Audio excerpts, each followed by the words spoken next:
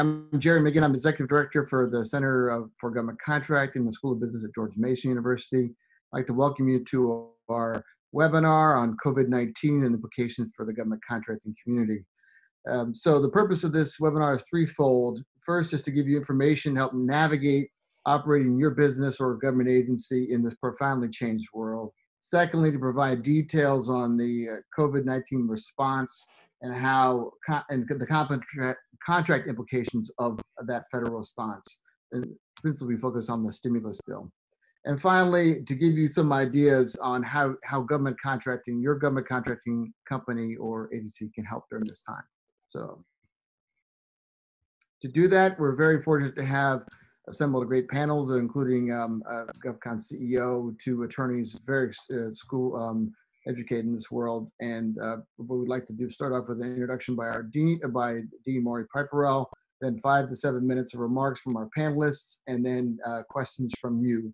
Please submit your questions uh, through the Q&A feature on Zoom. See a couple have already come in, so please do it there so we can, uh, and we'll respond to those as we get to the, to the question and answer period there's a slide, this slide deck will be sent to you afterwards. Um, so when we blow through some of the slides, uh, don't be afraid. Uh, we can come back to them during the Q&A and you'll be able to see them as we go forward. But let me turn it over to Maury to get us, get us rolling.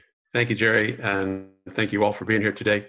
This is um, in many, in many ways uh, a very difficult time for all of us.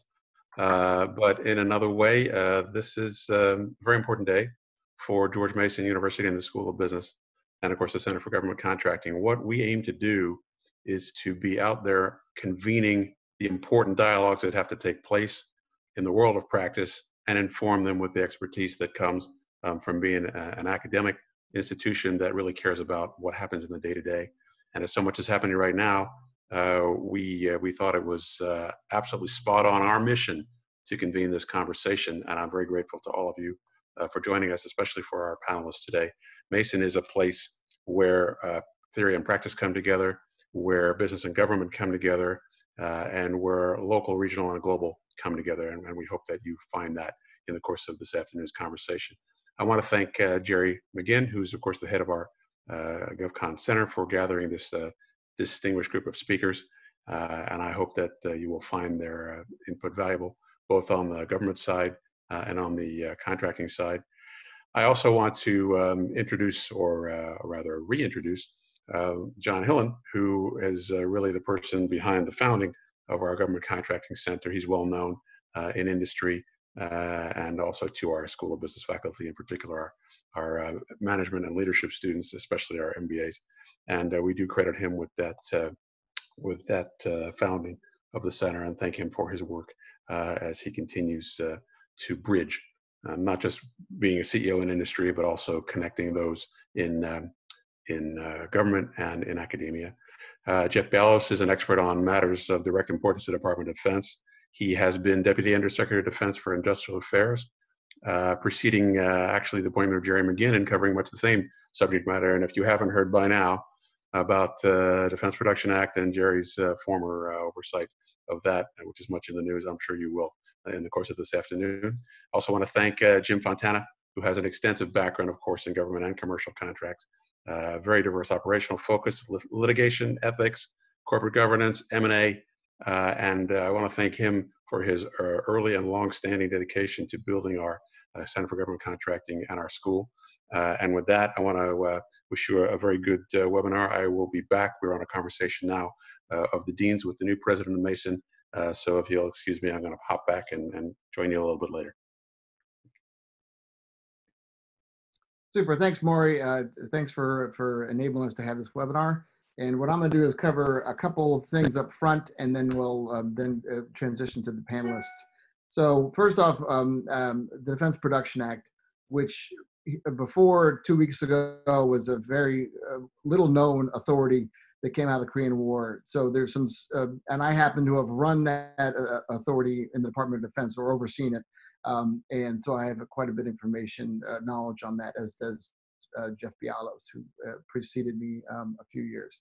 So um, you'll see on the right-hand side of the slide a number of links to articles and uh, things that we've done on that. Um, so, but I, I, wanted to just take 30 seconds and talk about what it means today. So there's two aspects or two articles of the, the Defense Production Act that are relevant for the, this, uh, this uh, current crisis.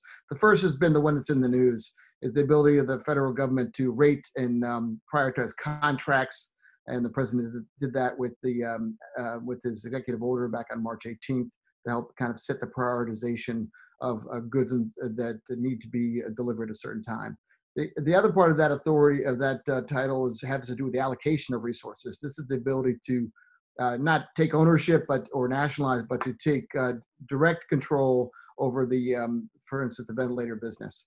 Uh, and the president has is reluctant to use it, uh, has been heretofore reluctant to use it, but then just invoked it um, recently for uh, a piece to encourage GM to can, can produce more ventilators. So, and then the other aspect of um, other title of uh, um, Defense Production Act you're going to be hearing very, very soon is Title Three, which is gives the president the ability to uh, conduct grants, loans, purchases, purchase commitments um, to um, invest in the uh, the domestic industrial base for capacity building. It's currently being done in areas like rare earth um, uh, production, um, micro small UAVs, specialty chemicals, and like but you're going to see there was a billion dollars in the stimulus bill. You're going to see a lot of uh, DPA Title III projects coming out focused around the pharmaceutical healthcare supply chain. So that's Defense Production Act. Next slide. So the um, and the other thing, the other reason why the center is involved is that the center, our our, our mission of the center is to be a nexus for government, industry, and academia to address the business policy and regulatory issues facing overall government contracting. And so, um, so we start here is looking at uh, the timeline of events. And the, the point of this slide is to show the ramp up in obligations. These are federal obligations, not including Department of Defense. Department of Defense obligations lag 90 days because of how they report. But as you can see, um, the response has ramped up significantly. We did a report, which I'll reference in the next page, um, on March 25th at that point, we're about $250 million in obligations, and you can see we're almost we're over a billion now, um, counting today. So money is um, uh, flowing um, at the federal levels uh, at, a, at, a, at a, quite a clip going um, from here forward. Next. So the Senate report, uh, which we put out on March 25th, you can get it here at, at this through this link or on our website, um, and it provides updates on these things. So I encourage you to take time and uh, review that. Uh, the lead author of that was uh, one of our research fellows, Eric Lofgren, who'll be speaking shortly. Um, but this is, uh, you know, this is very evolving, fast-moving situation, and we're we're already starting to update um, uh, the, the report, and we expect to do regular updates. So next slide. The thing that my colleagues are going to talk about is how is this impacting your agency, your company. The government has put out some guidance and directives um, from OMB, from the Department of Defense, from Department of Homeland Security. They've even changed how they make payments on contracts to help improve liquidity. And this also raises a lot of questions for prime subcontractors and the like. And I'm going to let my colleagues handle those um, during their during their um, time. So next the initial response uh, for federal spending was these first two packages, which were done in early and mid March, and those are principally focused on healthcare response. And you're starting to see those in the obligations that, that are um, happening today. But the real focus um, it, that what the president signed yesterday was this two trillion dollar stimulus, largest ever um, federal expenditure uh, stimulus bill in, in history and there are a couple eh, components about it that are that are quite um, uh, quite interesting. The there's very targeted funds for uh, loans and loan guarantees to help commercial businesses, commercial airlines, and certain businesses critical to national security um, uh, to continue operations. But there are also significant uh, requirements and conditions for the for use of those funds. Um, if you look at the actual break, uh, not quite yet. Go back. So if you look at the actual breakdown of those funds, uh, most uh, the vast majority were non-discretionary or direct payments. These are direct payments to individuals or business loans, hospitals, uh, unemployment um, and unemployment uh, payments. Some of those loans are relevant for you know small business administration loans and other loans impacting contracting firms. Um, but the big piece um, is the supplemental in terms of the $20 billion for Veterans Health and $11 billion for HHS. There's, um, and then almost 10, um, 10.5 billion for Department of Defense. Uh, key for that is you've got a billion dollars in uh, Defense Production Act funds um, that were allocated, which is the largest by far ever, and um, a, a 1.5 billion in work capital funds, and that's going to lead to a tremendous number of um, opportunities for companies that want to help.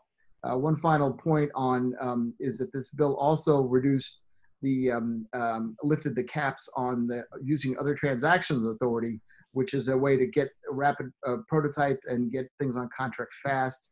Um, and HHS did not have the authority to do this before, so this this bill extended that authority and also raised for Department of Defense the caps the, the um, for that uh, so that it can be used on larger scale projects. So we'll get into some of this further in um, as we move on, but um, I will now want to turn over to Eric so he can discuss some of how we're seeing this lay down um, in um, the contracts versus uh, current situation. So over to you, Eric. Thanks, Jerry. So we're going to take a quick look at some data before we turn it back to our panelists. So what we're looking at here is, uh, and the question we're trying to ask is, where is the distribution of contract obligations in general from the government? And how does that compare to the location of COVID 19 cases? So in the circles and the bubbles, you can see uh, dollar obligations by location. The blue is Department of Defense. Again, because there's a lag, we're using data from the previous year. Um, the gray is uh, for all other agencies besides the DoD. And so you can kind of see that where the COVID cases hit the hardest in New York, there tends not to be as many government contracts. And in Seattle, where there's a, a little bit of an issue, and in New England, there's a good bit of uh, DoD contracts. Um, we can move on to the next slide.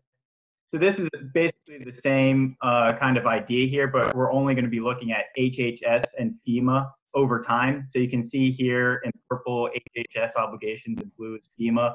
And we're now into March, and here come the COVID cases, and they're starting to grow very rapidly. So um, that's just a little over time view of, of coronavirus cases really starting to ramp up here in the, in the past couple of weeks and what's happening to obligations. We'll be look, looking at that and tracking that going forward. Uh, next slide. So another question is whether uh, coronavirus is actually leading to a decrease in the overall obligations coming out of the DO, um, out of the government. And again, the DoD has the reporting lag, so we're looking at everything except DoD here. Highlighted in orange is the month of March. Um, these things tend to be cyclical. You can see some of the gray spikes. That is the year end September. So a lot of government agencies obligating dollars. But what we're seeing for this past month up through the 27th, so it's not even a complete month, it's about average relative to the inflation adjusted historicals. So we're not seeing a huge impact yet, but we might want to start cutting and slicing that in different ways and see what the trends are um, kind of day to day, and we'll be tracking that going forward. Next slide. And finally, we have obligations um, directly tied to the COVID-19 response. Uh, you can see on the left, the we categorize the spending into major buckets research and development was by far the largest, and that was actually taking taking advantage of other transactions. So more than half of the total obligations for COVID are for research and development using other transactions contracts. Uh, but then we see a breakdown of the PPE, which is uh, personal protective equipment. We have ventilators there at 30. Again, DoD obligations are not reported here. So the DoD actually put on about an $80 million um, obligation for ventilators. That's not being reported here. This is everything except for Department of Defense. And um, on the right, you see the obligations by location. And again, these obligations have been growing fast, as Jerry said. So if the current trend continues, potentially in a couple weeks, we'll be uh, north of 100 billion in obligations for COVID, um, given the growth rates that have been going on. Uh, back to you, Jerry. Sure. One final slide, uh, and this is um, what um, there's a lot of different um, through uh, beta.sam.gov. A lot of opportunities that are coming um, out. Uh, they've grown significantly. We did our we highlighted these in our report last week, and since then the numbers have ramped up um, tremendously. So you'll see the the types of response, the types of contract opportunities and the needs are very tremendously. They're from PPE uh, to ventilators to other kind of emergency or deployable field hospitals, um, prototypes of the like. They and the agencies involved are you know span from HHS, Department of Veterans Affairs, DoD, FEMA, and um, and, and Department of Interior initially a lot of them were in the sources sought phase, which is the earliest phase of procurement, you know, identifying sources uh, where, you know, government agency we're looking for, okay, I know my uh, uh, uh, traditional providers, but who else is out there? So there were some of those, but then now you're starting to see as you get to the bottom of the list uh, that they're just going straight to solicitations, which is actually looking to procure through um, requests for proposals or requests for quotes and these are happening tremendously um, uh, quick turns. They're publishing uh, they're publishing um, uh, notices um, on one day, requiring responses the next, um, and th- this is this is just going to accelerate.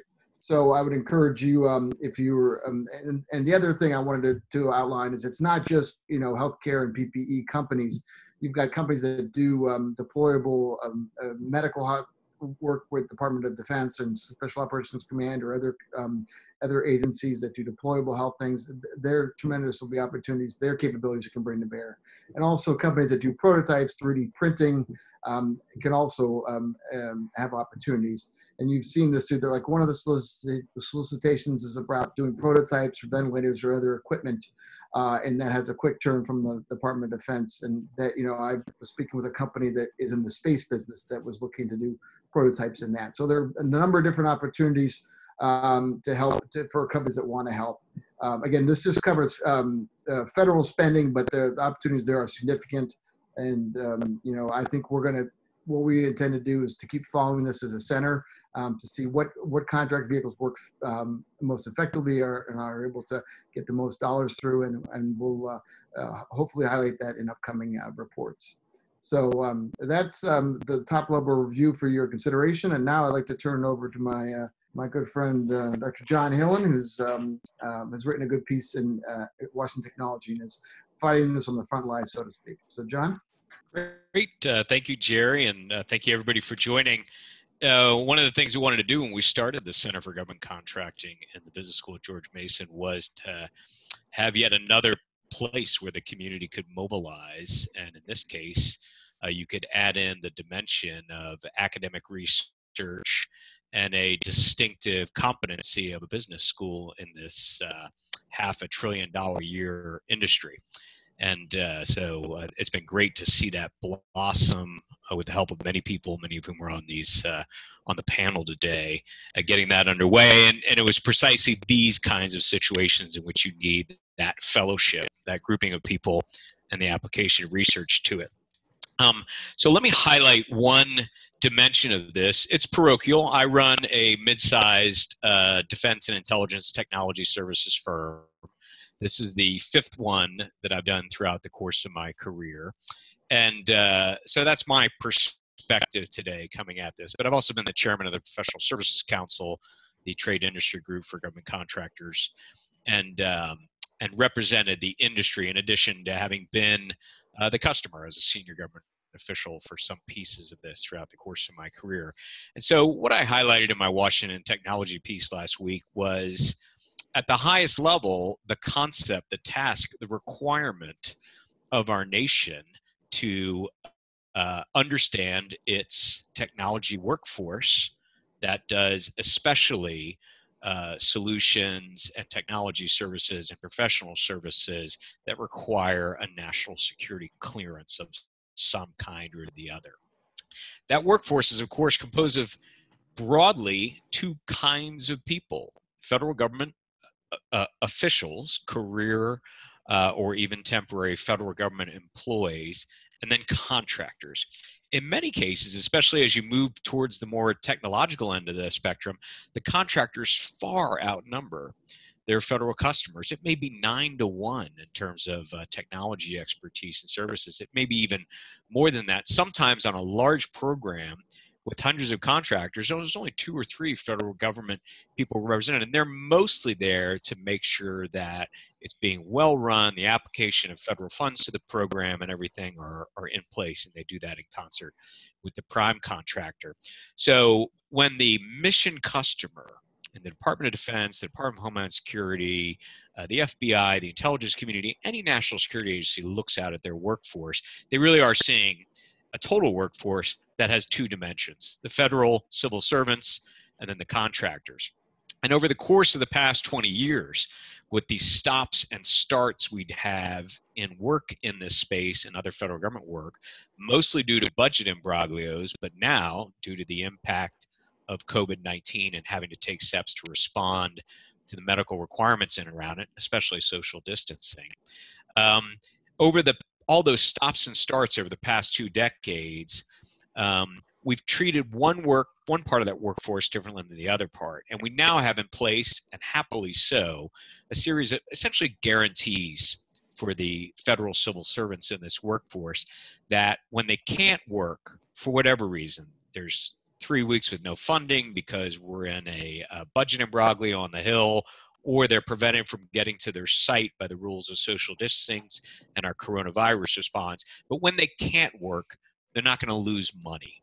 Their career is not going to be stymied. They're not going to have to dip into um, their uh, their vacation time or take time off without pay or those sorts of things. But we didn't do that for contractors until a couple of days ago when a provision a temporary provision, I think it runs out at the end of this year, was put in the CARES Act that does that for contractors. And that's good to see because what has happened over the past couple years is when we have work stoppage on federal contracts, a lot of times the contractors just have to stay home or go home, especially if they work on sites that have restricted access and that are now thinning out their workforce by moving to shifts or declaring some people non-essential and telling them not to come in. And this workforce, uh, as a result of those work stoppages, budget issues before COVID-19 now, is becomes treated like day laborers in many ways. Um, these are highly trained professionals um, with uh, exquisite technology skills that are hard to get and rare security clearances, and yet they are basically hmm. being treated as day laborers that can be picked up or dropped off depending on what the need is on the day. In the meantime, companies like mine promise them a career, career progression, uh, a long uh, career in the space. And uh, we already know we work contract by contract. We compete for those. We start when the contract starts, we end when the contract ends. The, but to be taken off of it in the middle of it for whatever reason in this case coronavirus response and told you have to stay home. You can't bill. You can't make money on it even though the contract's fully funded and you were awarded this work. Um, completely disrupts the workforce. The last couple of times we went through this in budget crises a lot of the workforce just left especially when the the rest of the economy is doing pretty well. They just left and they don't come back. It's uh, it's a lot of steps it can be very intrusive to go through a multi-year process to get security clearances. It's even more steps to become trusted by unique and interesting customers in the national security space. And once somebody goes off of doing some work for the National Reconnaissance uh, uh, Organization and then goes to Apple, they they tend not to come back. Uh, just to give one example. So, um, for the first time with this legislation only a few days ago, um, we're starting to see um, at least Congress at this point giving the federal procurement man, the federal program managers, and those that manage our procurement system some tools, not all the tools they need to be able to manage the entirety of their workforce and essentially keep both parts of their workforce, their federal government employees and their cleared technology or professional services contractors in place and at the ready and being paid for the work that they're contracted for and want to do, but may be prevented from in a temporary situation. So I was very happy to see that, but there's still a lot of detail to work through and how that is applied.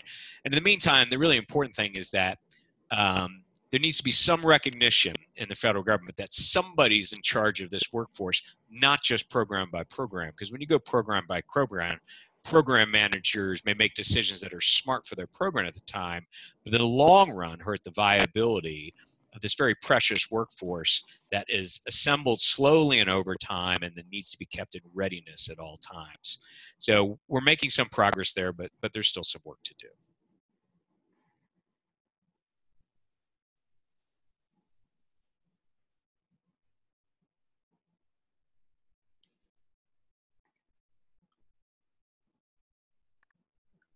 Jeff, you're up. Go ahead, unmute, and you're you're, up. Thanks, Jerry. Uh, first of all, pleasure to be here today with you all in these really challenging times.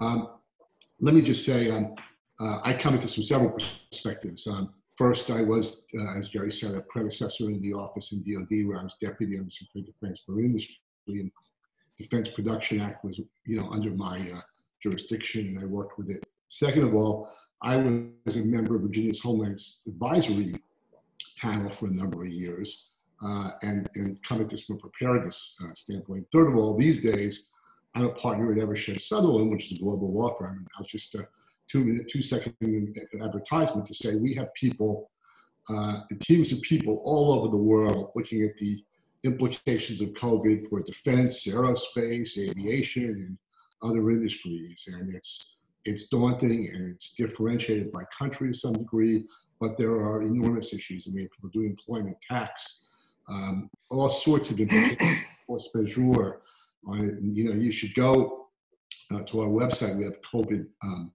website with lots of resources and materials on that uh, there. So, um, so I want to touch on a couple things today. Uh, first, on the uh, the fabled Defense Production Act, which, as Jerry said, I have to laugh about because you know, probably only 10 people know too much about it in the country, and now I hear everybody talking about it on TV as if it's their best friend. Um, but look, there's a difference between authorizing the use of the Defense Production Act and actually using it in practice. And what has happened largely to date, it's been the president first authorized the use of Titles One of it, which is the um, priorities and allocations authority Jerry mentioned.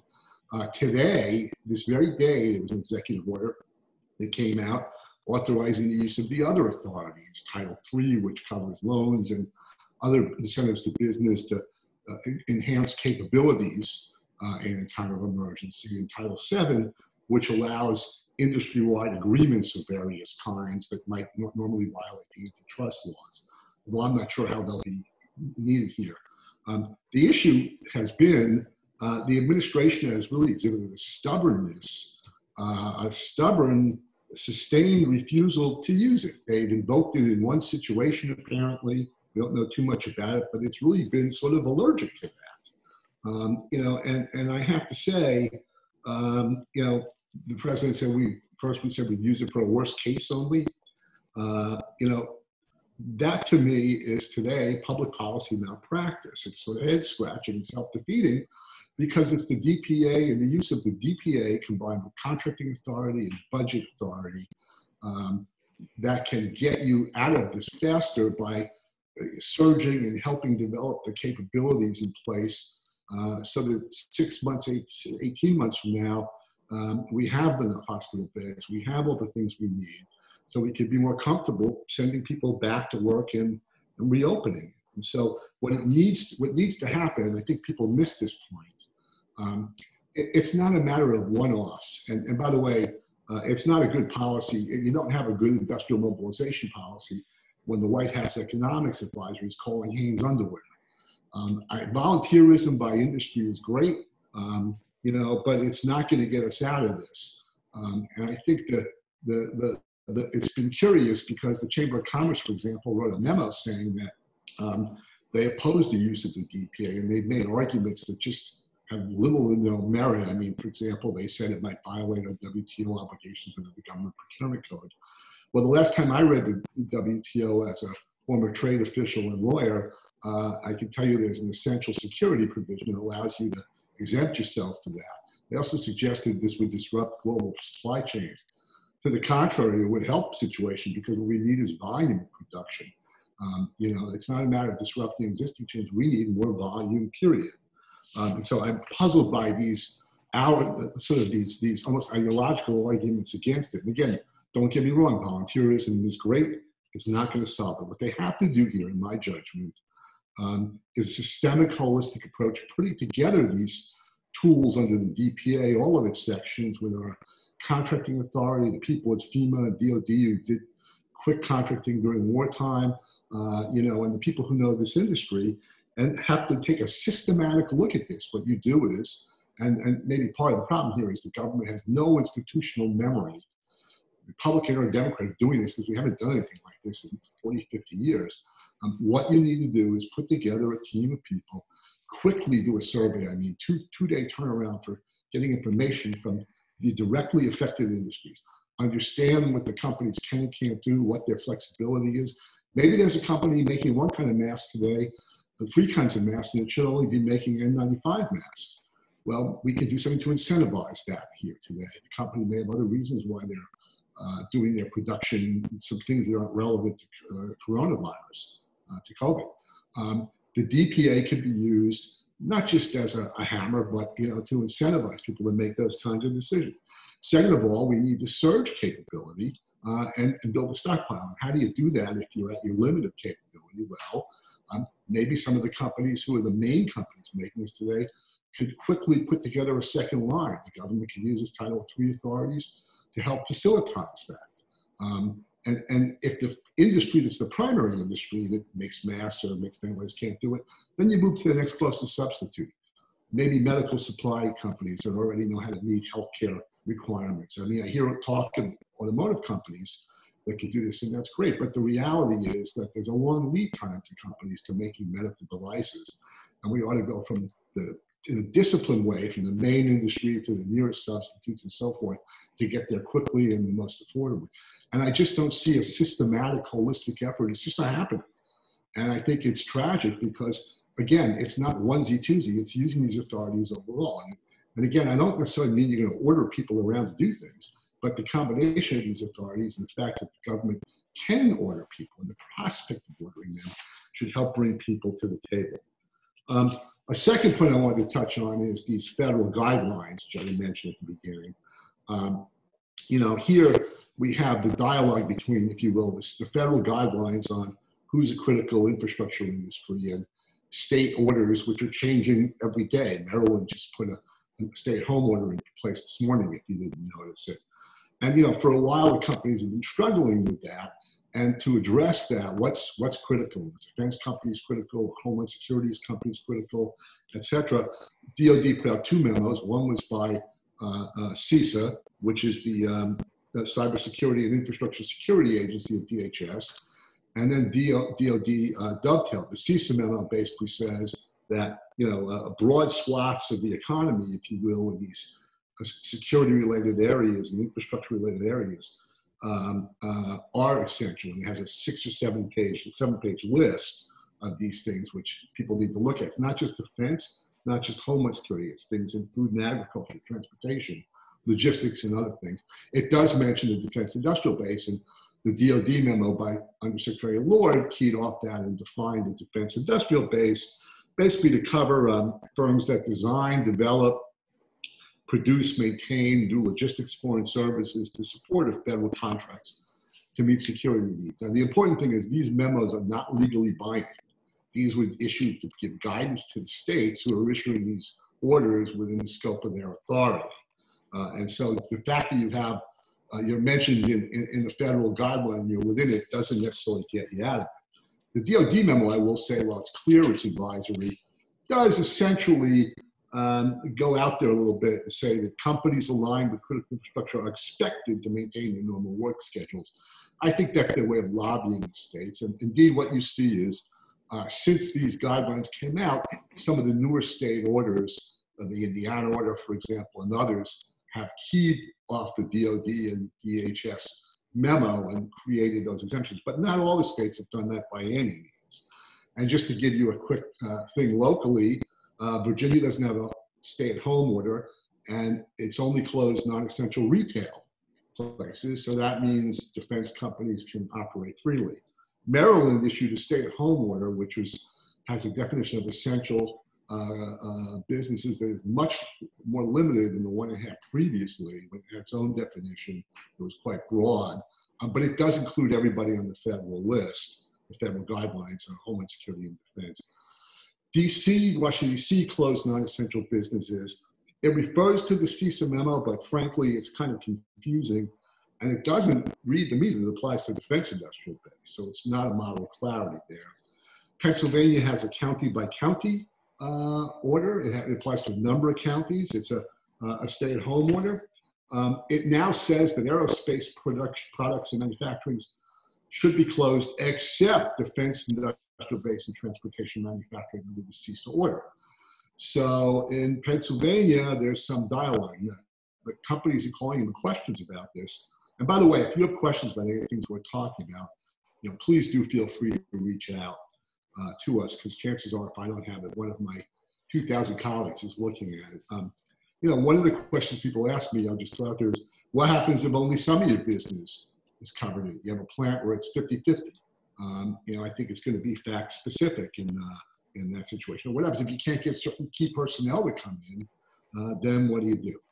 Um, third point I want to mention briefly uh, is DPAS rated orders. A lot of defense companies have what are called rated orders that are given priority over others. And when this crisis broke, some of the primes wrote these notes saying, just a reminder, supplier base, you have rated orders. The implication being you have to, you know, perform under them. Well, it's, it's life is not that simple.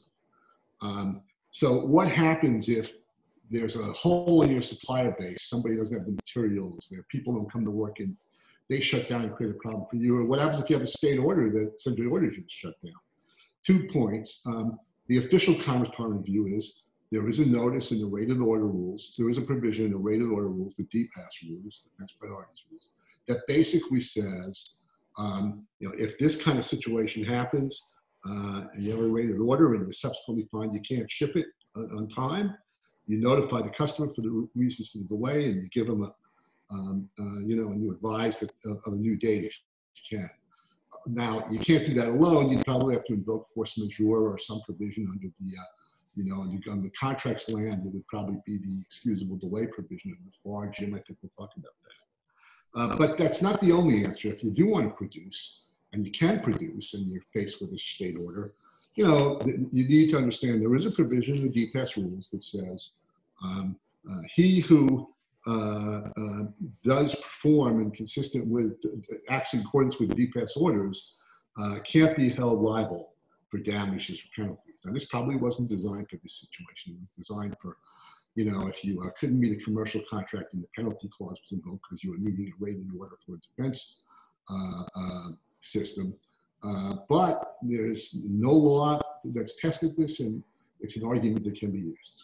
Last point I want to make, and then I'll turn it over, is, uh, and we have a memo, and it's on, uh, if you go to the page with me in PowerPoint, it's the third one, but we put out a, a very user-friendly roadmap yesterday for obtaining, uh, you know, financial assistance under the, the CARES Act, the stimulus package. And I think a lot of people can be very interested in that. And there are, in particular, three targeted areas that I think are really relevant to this community. One, there's up to 25 billion for passenger airlines, uh, repair companies and overhaul companies. Uh, two, uh, four billion for cargo companies, and three, up to 17 billion for businesses national uh, critical to national security. Now, uh, that category is not further defined. Treasury and data will flesh that out because he has to do so in 10 days. It was added late. That's designed to include, uh, you know, if you will, companies like Boeing and its supply chain, who, while they are defense providers, are going to be severely impacted by this because of their so much of their business is on the uh, commercial side.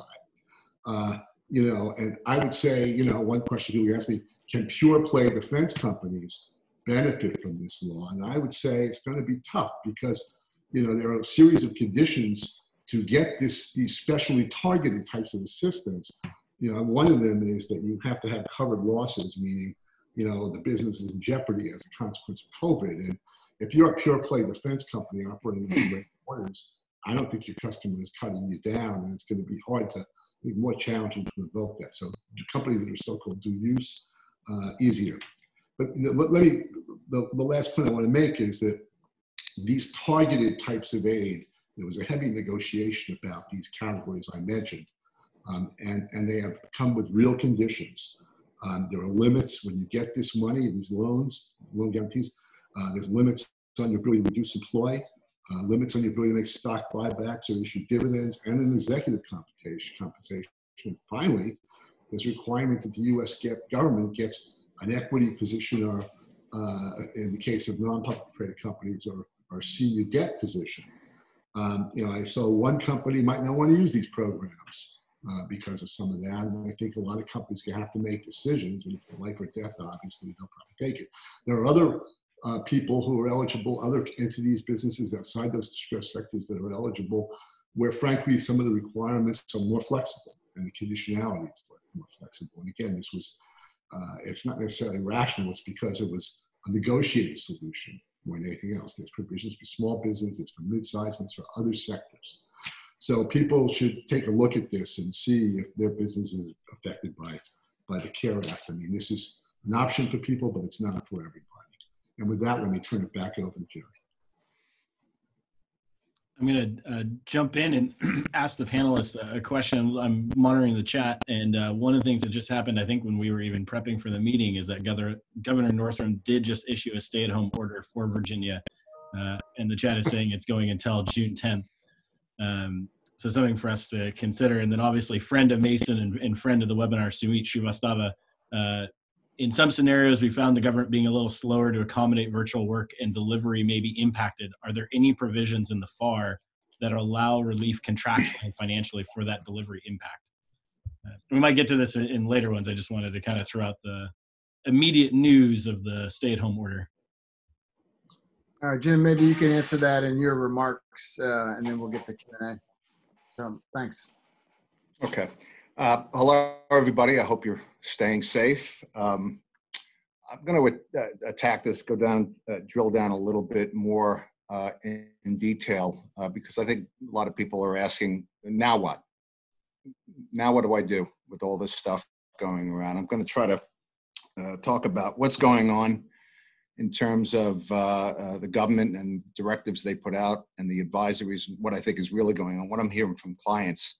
Um, if you start with the uh, Ellen Lord uh, memo that uh, Jeff alluded to, and the quote, which really comes right out of the White House, says, "If you work in a critical infrastructure industry, that's basically the defense industrial base.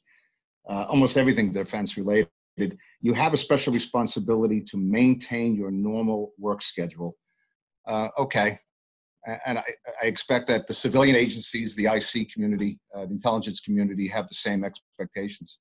Um, you could look at a couple of uh, articles I've written for Washington Technology to, to get more of the details, but uh, what what was alluded to here and in the article is the March 20th OMB memo uh, that basically says or encourages agencies uh, to permit telework that uh, allow flexibility in terms of contract management to include uh, providing equitable adjustments and the third there were three. The third one was to use, utilize the emergency uh, procurement authority. Uh, you have two DoD, what they call class deviations. They're basically deviating from the federal acquisition regulation, the FAR. One of them has to do with the justification and approval of what they call J&As uh, for 8A companies. Uh, now it's up to $100 uh, million. The, the, ceiling was 22 million.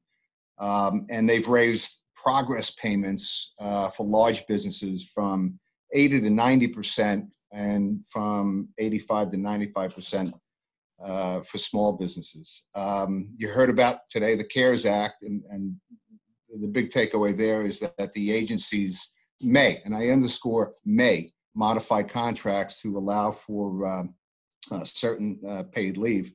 Um, that goes through um, September 30th uh, of this year. Um, so now what? Um, you know, the, the government employees and the contractor employees, uh, they're in the same boat, but not necessarily in the same ocean. First thing to take away from these is that these are not legally binding, and I, uh, I'm old enough that I've I've advised contract. I'm a government contracts lawyer, or advised clients through about four shutdowns this is analogous to a shutdown. I wouldn't call it really the same. Um, but I, it's the same thing in the beginning is that agencies may say, look at the guidance, we're going to follow the guidance. But, you know, the government people, they have their own beans to count. That may or may not happen. I like to be an optimist, but there could be some some implications uh, to government contractors, uh, and it could devastate some businesses, especially the small businesses. Um, so you, you might have to use the changes clause or the delays clause or any other the government delays clause um, uh, or the excusable delays clause uh, that are in the FAR. Um, they're they're not that simple to follow. Um, there are certain notice requirements that you have to be uh, uh, mindful of.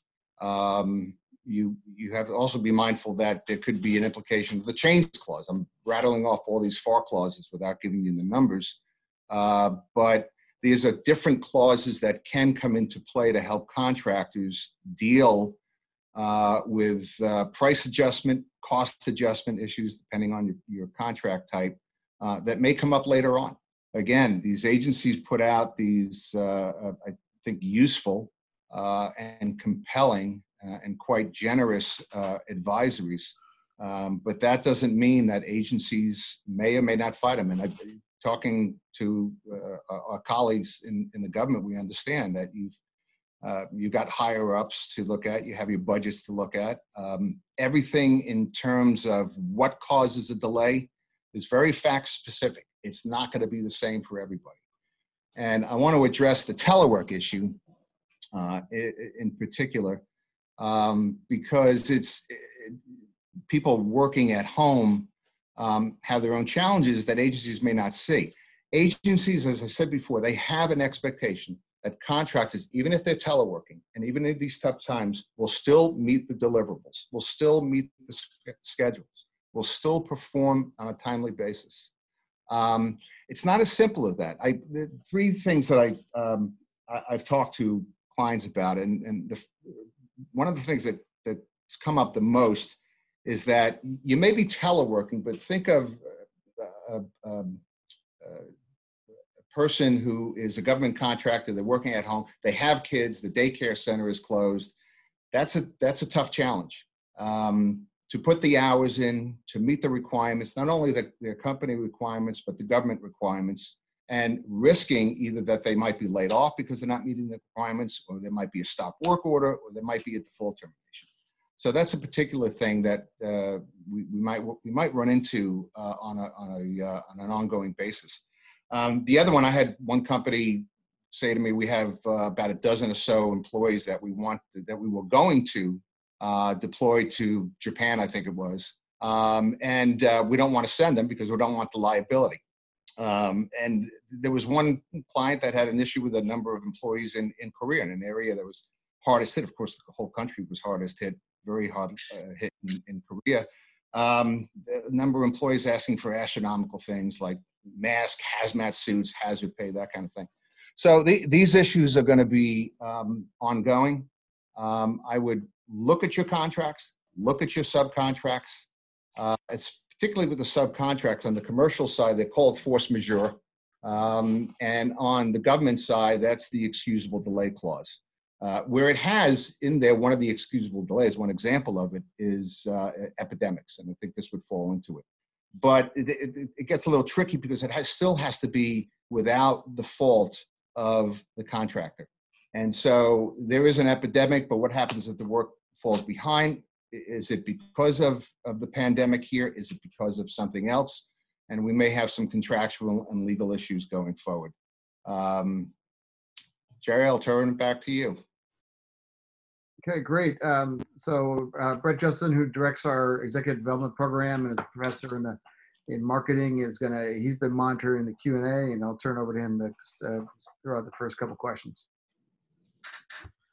Uh, first, and if we want to get back to the Sumeet's question, or if anybody else on the panel wants to take a stab at Sumeet's, and then we'll go. So John, um, and then we'll go to some of the other uh, good ones, and, and to the uh, participants. Remember, you can either do it in the Q and A or in the chat. I'll try to continue to um, monitor these and get them in front of the panelists. Yes. So on Sumeet's question, which is about um, what if your government customer is not really affording your people the opportunity to telework, or it's just not d- doable because they work on a, a, a cleared site or on cleared systems or something along those lines. And um, or it is doable, but customers are just slow to accept the work plans you should have submitted by now, saying here's how we can demonstrably move this program forward, even working at home, even working on class, even working off site. That's something every good company should be doing is proactively putting in front of the customer um, ways to um, within the statement of work move the work forward without being there some it's still going to be hard and here's where i think jim's exactly right about the aspects of the law and here's where a relationship with the customer and the primes if you're a subcontractor is so critical. Because the only thing that the legislation the dod and omb guidance and any other agency guidance um, or anything else that has come out does really is it gives top cover. It, it's there are a series of things that give top cover to the government program managers, the, the contracting officer representatives, the contracting officers to work with the contractors under the terms of their contract or under expanded terms of the contract, which the legislation and some of the guidance alludes to being able to be creative uh, with, within those terms. It just gives you the chance to start that process and start that dialogue. For a lot of government customers, um, they won't see a huge amount of profit for themselves or for their programs in taking risk. And they may be reluctant to, even though they have top cover from these regulations. So um, uh, they'll need to be really talked to and worked with in the course of this in order to get them to be uh, more uh, virtual work, telework, and uh, off-site work oriented either now or in the long term catching up hours to the contracts to get it done i still think there will be at the end of the day across the community a lot of lost hours a lot of unrecoverable work and that's where i think everybody would be well served to have a Jim Fontana or Jeff Bialos or somebody like that in their corner to help work the inevitable equitable adjustments and other things that'll need to be done on the backside of this. Uh, if I can add a little bit uh, on this, um, look, there's no one size fits all. Companies can have different situations. So, you know, company A, most of the companies, uh, the, the government orders, the way I read them, in the federal level essentially say full speed ahead. Uh, you know, we, we'd like you to keep working in these areas. And it's a big bunch of areas. And the challenges companies face is, again, as I said, well, first of all, maybe somebody in the supply chain doesn't have what they need. And without whatever is in that supply chain, you can't produce. Or what I've heard happening and companies have told me is happening is so they can't, uh, employee A, B, and C won't come in and they're sort of a critical link. You know, they may have some degree of uh, redundancies to cover that situation, but not much. So if you have somebody who's an employee in your, you know, and your production chain is critical and they can't show up, you've got a problem. Um, and then of course you have what uh, what John mentioned, the situation with the government, where the customer may not be, you know, yet sensitive to the problem and the fact that a lot of people want to stay at home their kids are at home. It's very challenging. They may have somebody vulnerable at home. And what do you do? Well, the one thing you can do in some of those situations, people have you know, written force majeure letters to their customers. It's not optimal, but it's a kind of a wake-up call a little bit. So you send it to your contracting officer that you're gonna, you may need to invoke excusable delay. And you say, look, I'm, I'm trying not to do this, but we need you to work with me. And it's maybe a way of encouraging a little more uh, movement along the line of uh, let us telecommunicate where we can, etc. You know, and I think people need to think about doing things like that. Um, there are a range of different authorities out there, though. It really is going to be very fact specific. Great. I want to get to this question from uh, from Dan. Uh, if you have displaced workers, uh, what's one of the best ways to find companies that are hiring, especially rapidly, um, cleaning companies, manufacturers, so that they can try to find places for their folks right away so they can make their ends meet.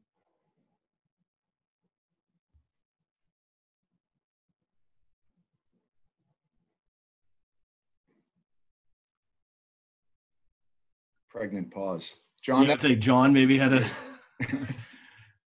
um, what? Well, that's Why- that's a. I mean, that's a good question. I think uh, it depends on the workforce, right? That's that's so highly dependent. Uh, um, and uh, right now, I've been encouraged to see in places that have called for workers, um, they're overwhelmed with volunteers and other things. But for the most part, I think what we're talking about in this workforce, I'm not just talking about people with, you know, crypto mathematicians with seven weird clearances. I'm just talking about uh, um, your government, uh, professional, administrative uh, workers, people in the aerospace and defense industry. They're probably not going to um, want to go or go somewhere else. And that's the whole idea behind a lot of this legislation is keep that workforce intact and not leaving to do something else, even to make ends meet. There may be others down at the um, at at a different level of services where they can do that and come straight back um, in in certain service categories, and I, I, I think that may be useful, but it's a very much you know by industry, by service category thing. I'm trying to get my people are mostly technology workers and highly qualified just to not give up on the government because this kind of stuff happens to it.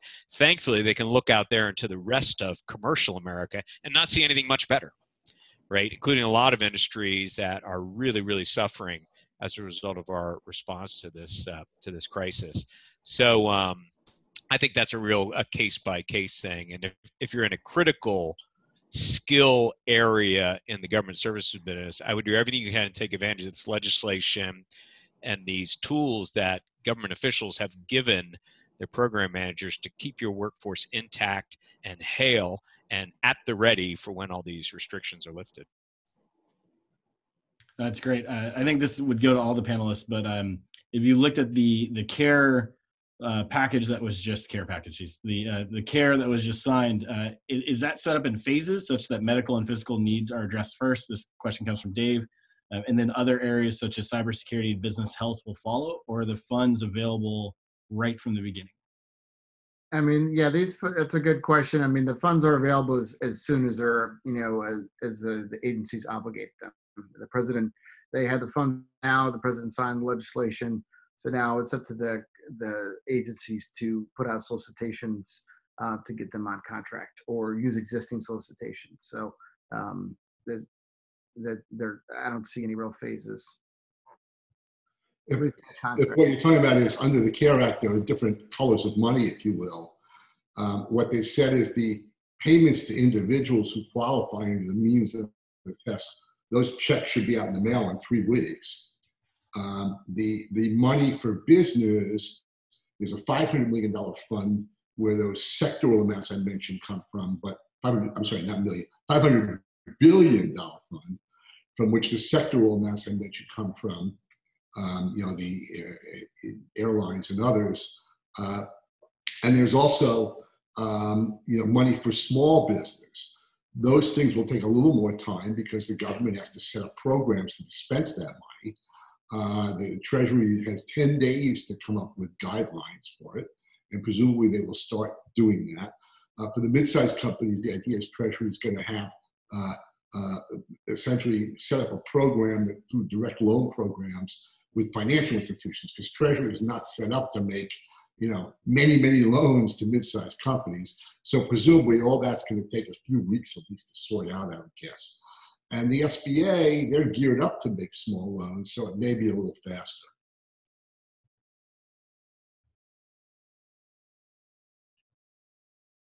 Great. Uh, I want to move to a question from Alan. What are the active and reactive postures companies should adopt in this current environment?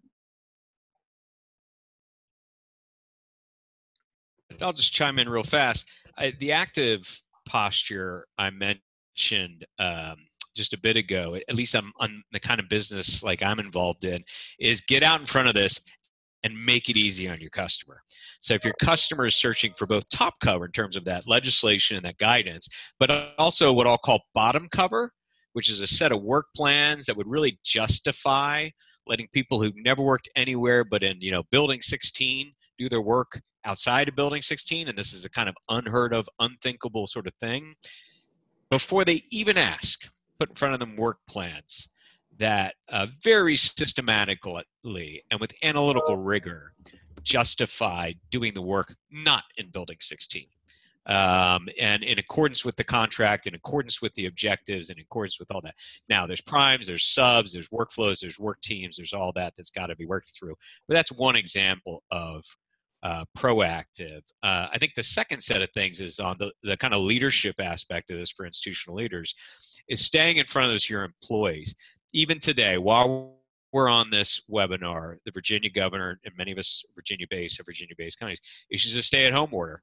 What does that mean? You know, they're now going to be hundreds, thousands, tens of thousands of employees. Does that affect me? How does it affect me? How do they know I'm essential? Do I have a, a little essential U.S. badge, you know, a little tin badge that says I'm essential personnel? What kind of letters do I need? Those sorts of things. So I think um, working with, uh, especially if your firm's not big enough to have your own general counsel, your own HR person, working with great outside uh, consultants there, just to stay ahead of communicating with employees um, because they'll always have more questions and you'll be able to answer. So staying ahead of that and staying ahead of your customers by making it easy on them to get to yes um, and teleworking. I think those are the two best proactive things you can do. If I can just jump in from a procurement standpoint, uh, three things to remember. One, uh, official communications have to be with the contracting officer, the warranted contracting officer, not the COTAR, not the COR, not the program manager and you have to keep those lines, alluding to, to John's point, uh, clear and consistent. Um, the, the, the second thing is, is constant communication. Um, and the third thing is document, document, document. If you get a cost that might be deemed out of scope for some reason, and this pandemic is out of scope uh, on a fixed price basis that you think warrants a price adjustment, and I would err on the side of including a lot of costs because they have to be allowable under the FAR. Document everything. You not only have to document the costs that you incur, that might be an increase in cost or increase in price, uh, rather increase in cost that you should get a price adjustment for. Um, you have to document efforts to mitigate those costs. So the documentation um, at, at, a, at an early stage is, is critically important, particularly if you get into a cat fight with the agency over allowability of those costs. Yeah, Brett, we've reached the top of the hour, so um, um but uh, you, we've got a whole bunch of questions in the queue. So, out of my fellow panelists are able to stay a little bit longer, we'd like to go through them. Um, but um, but those that need to leave, understand. But uh, uh, I'd like to continue uh, kind of responding to questions uh, if, if that works for you all. Sure. Absolutely, and we'll take this opportunity to say thank you to obviously the panelists and for the participants for coming. Um, yeah, we do have more questions lined up, so I'll keep asking as long as the panelists keep answering. Um, question from John: Can people use their you, you guys love your acronyms NIST, NIST, MEP to help displaced workers find other jobs?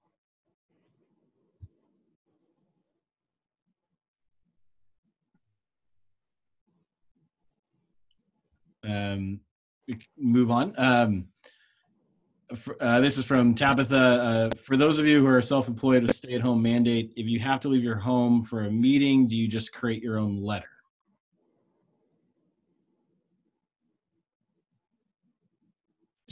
This is John.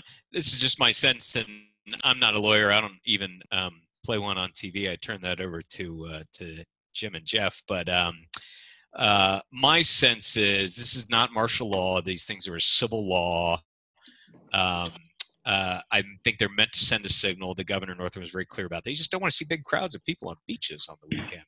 The, the stay at home is not meant to keep essential people from going from conducting their work as part of the critical infrastructure protection workforce of the United States. So um, uh, everybody's got their own style. I've seen a, a very different kinds of ones, some from customers, some from primes, some that companies who are only subcontractors do themselves. But I would just say um, official paper citing the uh, DHS declaration of who's in the critical infrastructure protection workforce of the United States, which includes our entire industry, official paperwork about the program one is working on and the and that we're considered essential workers. It's just always good to have on you. Um, even if you're a one person government contracting company and you're going outside of your home for a meeting, I think that's just prudent. Yeah, and I think John's uh, right here. This is Jerry. I, I can go back into that NIST MEP question. That's sort of a, uh, I think it's a manufacturing extension partnerships. I think, and those are regional kind of organizations that help um, uh, that help in uh, distressed distressed areas um, run by NIST, and those are good places that that help or, um, communities transition um, for you know from if one industry leaves a town uh, helps helps find um, retrain or find work for other folks. So, so that is a good place to look. So to address that question. You want to bring up a, a question from Christopher directly to uh, to Jeff. Uh, you said the small businesses that qualify have to demonstrate that they were impacted. However, from what the CARES legislation states under the payroll protection program, it seems that all businesses would will be deemed impacted. Uh, Is that your understanding? And if not, what would be the general test for impact or potential future impact? Oh, Jeff, you're muted. Sorry. Uh, there, so that's interesting because there, are- there are different standards for different situations. Um, uh, the uh, for the small loans uh, for the SBA program, uh, there is a requirement that the borrower certify that the uncertainty of economic conditions uh, make the loan request necessary to support the ongoing operations of the recipient. In other words, without it, you couldn't maintain your operation. So uh, that is a, re- a specific requirement of that, and I don't see uh, any ability of anybody to waive it. You know, as I said before, and that's why the memo we put up is very user friendly. It walks you through this. The different types of money have different obligations. The, the, the tightest, if you will, are those targeted uh, monies for the uh, the special distress sectors, the, the airlines, national security, cargo airlines, etc. Uh, the second tightest, I would say, is for mid-sized companies, where also there's a list of very specific requirements, including that you're neutral with labor union uh, elections in the company. You have to agree to do that. The one for what I would call not mid-sized, not the targeted sectors, everyone else, uh, there's a much shorter list of requirements that doesn't include some of these things. And a few of the things can be waived. Okay. And now you can ask me, why is it like that? the answer, I think, is somewhat a negotiated set of solutions here. It's not necessarily, you know, a, a rational Martian looking at it wouldn't say, well, of course, right? It's just that's how the negotiation went.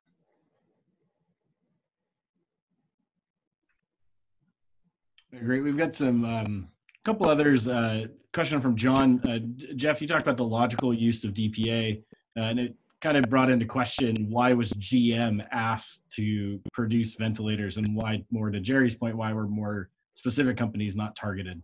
This would be to the general pan- panel of why you think that route was was was taken by the administration. Well, so first of all, again, I applaud willing volunteers. And the way I read it, and all I know is from what I read in the news, is that they were partnering with a company that was essentially licensing them to use their production methodology, I think, okay? Uh, so it's not just an auto company in space. But yes, again, my my issue, putting that, uh, not focusing on that one situation, is if I were doing this, I would do this systemically and start with the the the the, the sector most directly affected, the ventilator sector. Look at the companies literally one by one, have them give you information, figure out what you think they could do more of. Maybe they don't want to do for some other reason, and then move out from there and you, move out in terms of what's the quickest time to get the things from these different companies and what's the lowest cost. Time probably is prioritized over cost today. Being able to technically do it in time uh, are the two key variables, and cost probably comes in third during this kind of crisis. That's just the way it is. You, you know, you always have three variables in government contracting, and lots of times one has to give. And I would say that's the one here. But but you know, seriously, if you start the way I'm suggesting, again, willing volunteers, let them come forward. That's terrific uh, in the industry. But you start at the closest in the industry and you move out from there with the nearest substitutes. Yeah, I would, uh, uh, Jeff. Uh, this is Jerry. I, I- think that's a, that's a good good um, good approach. I mean, the alternate approach is I think what the administration has taken. I th- you know there there is sort of an all the above approach, which is saying, listen, we're going to take them, we're going to do prototyping on around the industry in different areas to try to build. We're going to try to build the uh, build up the existing production lines, try to get other new entrants in, and see which one works best. Um, I think the challenge with doing the, I mean, I I believe in theory what you, your approach is good, but if you're using it, building an organization or building a capability in the middle of a crisis is always hard to do. See the coalition provisional authority in Iraq. So I think you know, you know, taking an approach where you're, it's going to be chaotic no matter what you do. So, I mean, this is one way, um, way to approach it. Your way, um, maybe system, systematic. I worry about being late to need, you know, that kind of, those concerns. I understand you know, that again, there seems to be some allergy, but you know, they have people working on it. I put together an innovation task force in a day. I yeah. got questionnaires out to the companies in 48 hours and yep. begin to look at it one by one. I think it can be done. It can be done with dispatch. And I'm, you know, and again, I'm all for all this other stuff. Yep. all these companies come in if they do something useful, great.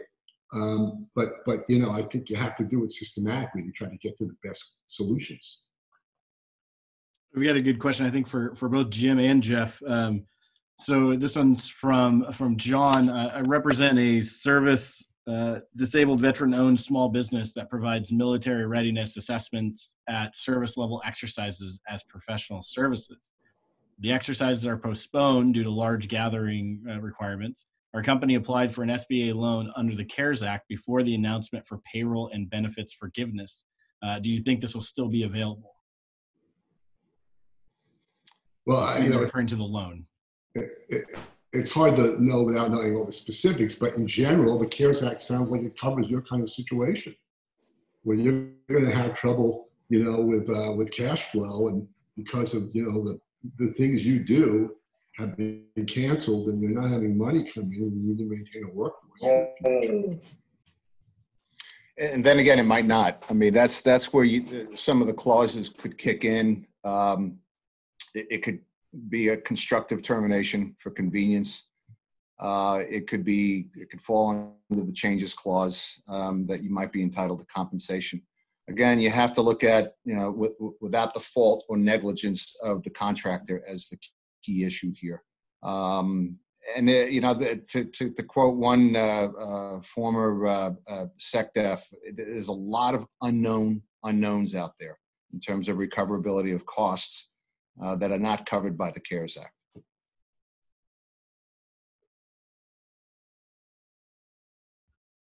Great. That actually got through all the uh, the questions we had in both the chat and the Q and A. Um, Great. we want to do our, our final goodbyes. I'll turn back over to you, Jerry. Great. Hey, thanks a lot, Brett, and thanks uh, for all the audience for great participation and my fellow panelists um, for your great remarks and uh, answers. I guess one uh, parting question, um, parochial, I guess, on behalf of the center, is um, what what do you think would be what kind of metrics do you think we should be measuring um, to, um, during this time in the center? Because we're thinking about tracking contract input, impact on contracts by the situations, or but what are what are your thoughts as practitioners we should be uh, looking at?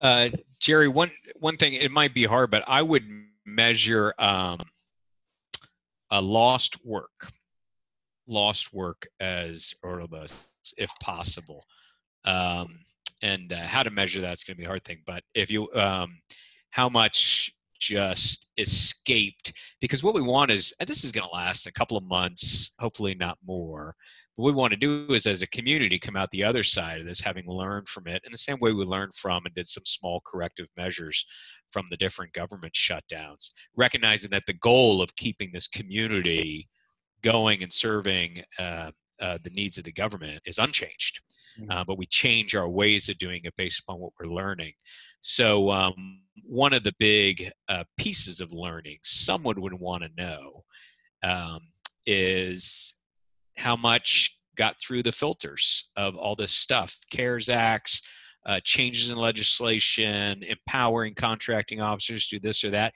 Even so how much slipped through and was lost? 20% of the work?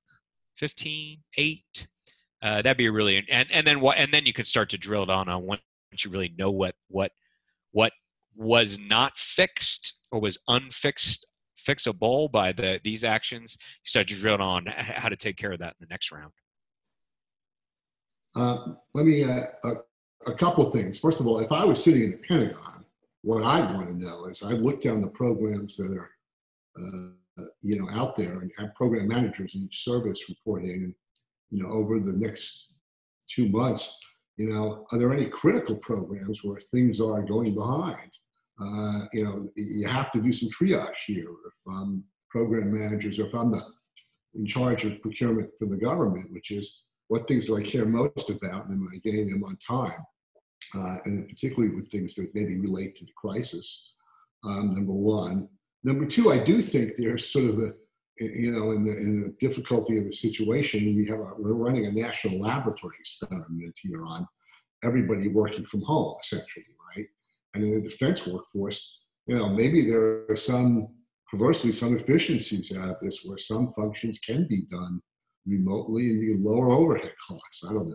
But I do think there's a, you know, we're running a, you know, a, um, a national laboratory experiment and, you know, uh, people doing work from home and, you know, what, does that create efficiencies? What about the cybersecurity risks that go with that? And a range of other issues. I think that's a great point. Um, listen, I, I, and it's good, good one to wrap up on. Listen, I want to thank you, John, Jim, Jeff, and Eric for your great um, work on this, Brett for hosting us, and thank you, the audience. Uh, we, we recorded this uh, this webinar, and we're going to post it on our website, which, which is uh, www.govcon.gmu.edu, and we're also going to share the presentation with you all um, after this as well. And finally, look out for updates that will be coming um, in the in the coming days from the center as we kind of continue to track uh, the impact of this incredibly challenging situation on uh, on our, our, respective businesses and organizations. So thanks very much for your time and uh, have a good afternoon. Thank you.